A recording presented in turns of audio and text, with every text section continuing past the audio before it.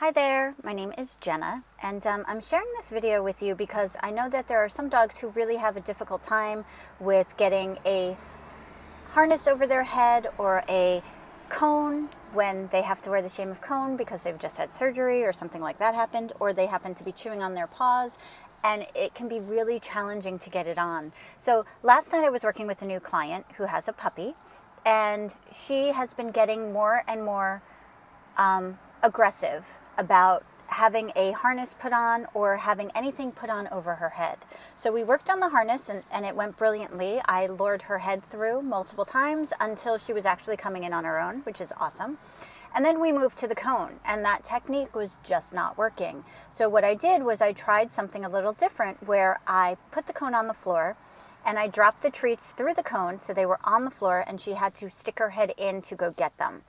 The first time she tried to move the cone, so what I did was I held it after that and just waited for her to try again. When she did it the first time and she realized that the treats were on the bottom, and technically for her, we just use her, do her dog food, but it could be worth it to use a higher level, level treat if your dog really, really doesn't like it. But if your dog is a chow hound, you can totally use their food.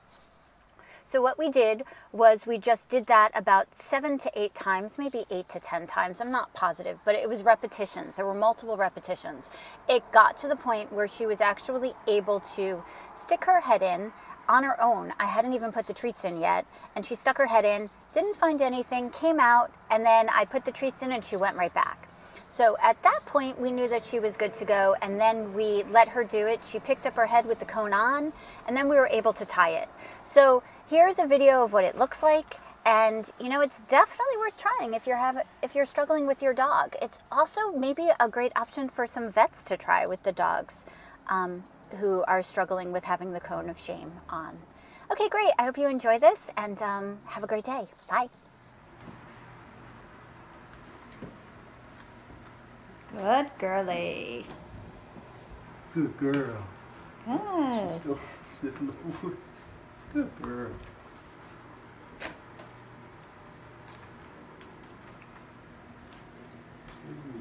It's not even that bad anymore. Nice.